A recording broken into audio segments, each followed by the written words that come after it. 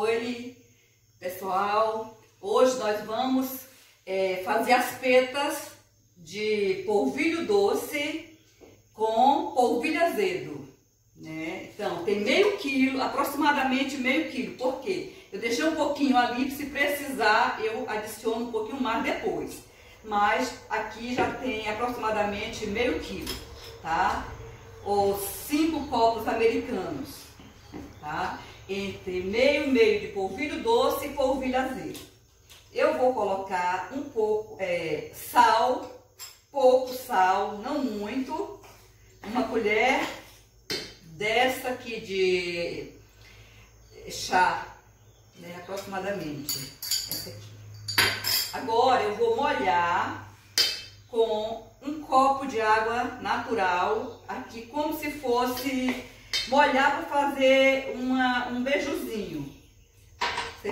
Molhar, depois que a gente, a massa estiver molhada, nós vamos peneirar, mas depois gente vai dar uma mexidinha bem aqui, para encorpar bem a água, esse copo de água que eu coloquei, para uma... Mas eu adianto aqui rápido. Aqui, ó. Ela já deu uma crescida, ó. Ela já deu uma tufadinha. Molhou a água água normal mesmo. A água não é fria, não é, não é quente, a água é natural mesmo. Ó. Aqui.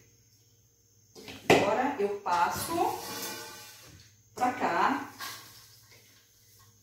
Eu vou peneirar. Vou pra massa ficar, a nossa peta ficar bem fininha a massinha da peta. Então, ela bem peneiradinha é melhor para trabalhar, para ela crescer, ela ficar bem crocante. Então, tem alguns carocinhos da tapioca que ela não, não se desfez. Tá peneiradinha a massa, bem fina, peneirada, né? Agora eu vou colocar um copo americano de água aqui e uma, duas colheres de sopa de, é, da, do polvilho para mim colocar para fazer uma, tipo, uma goma, tipo um mingau para colocar aqui dentro quente. Peguei com duas colheres do polvilho aqui, ó. Aí fiz essa goma. Esse tipo, fica tipo uma cola. Mas é aqui que tá o nosso, dá o ponto, né? Bem quente. E ele fica transparente, olha. Aqui, ó, transparente. Agora eu vou colocar aqui a goma feito. Isso é as petas dela. Tem essas...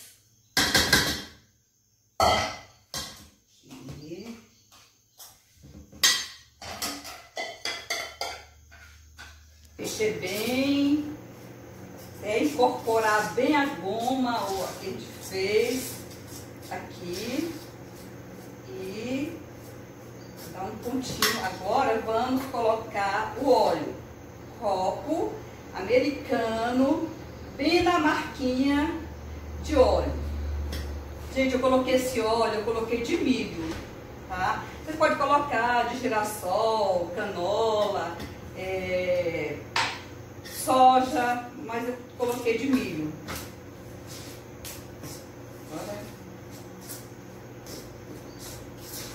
A pouco vou meter a mão na massa. Deixar esfriar um pouquinho. vai incorporar bem, fica bem incorporado. Para colocar o ovo. Para essa quantidade aqui, eu coloquei o ovo. Se precisar de mais alguma coisa, um pouquinho mais de, de água, alguma coisa, eu coloco. Mas é um ovo só para esse tanto aqui. Tá. Agora vamos colocar um ovo.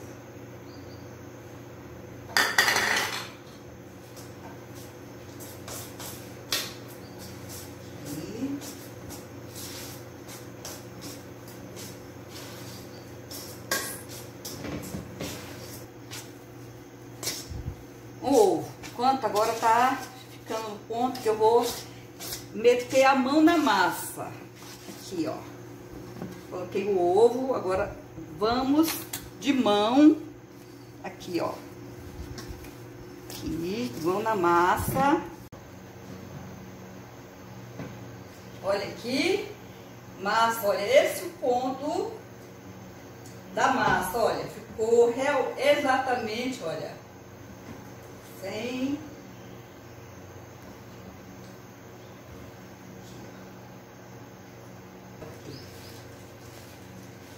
Agora, colocar dentro do saquinho.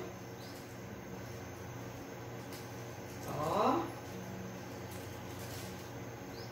Vamos agora cortar agora um buraquinho aqui, ó. Pequeno, ó. Pra fazer esse caminhozinho, peraí aqui. Primeiro sempre dá um, tá. Pronto, agora vou. Chega aqui. Não precisou untar a forma.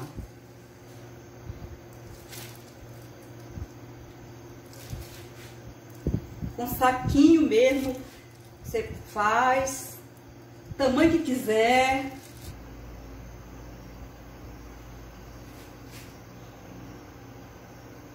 Já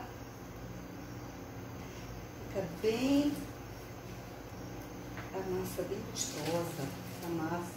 É levezinha, essa petinha, a gente come e dá vontade de não parar mais de comer. Nossa, é muito gostosa. Por isso que a pessoa. Isso é viciante. É um biscoitozinho, é uma peta viciante ela. Vicia mesmo, que a gente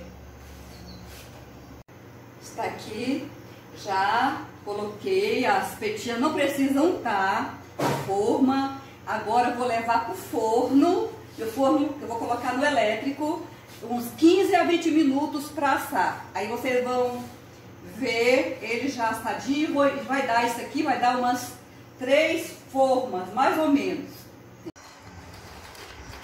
Eu estou, deu quatro formas, já sei, na, assim, na faixa de uns 20 minutos cada uma, 15 a 20 minutos, depende, a gente, né? E essa aqui, gente, não botei muito sal, como vocês viram, botei uma colherzinha de chá de sal, porque eu que vou comer, né? E aí tem que ser menos sal. Mas quem quiser com sal pode colocar mais sal, tá? Então, eu coloquei e tá o ponto, tá gostoso, tá crocante aqui. Vou mostrar pra vocês aqui. Uhum. Bem crocante.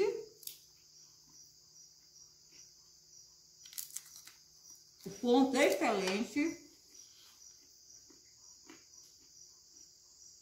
Hum, olha, esse aqui é o modelo de petas que eu fiz. Tem outros modelos outros tipos, né? Que eu posso estar tá mostrando para vocês na, na sequência. E as outras, outros modelos das outras petas, pode fazer não dentro do saquinho, mas pode fazer elas diretamente com a colherzinha, encolheradas, pequenininha também. E ela daquelas outras que fica mais assim, ela fica mais moreninha e e ela é feita só com tapioca ou só com polvilho azedo também. Vocês gostem, tá? E estou aqui para qualquer dúvida, vocês perguntem que eu respondo. Muito obrigada por todos.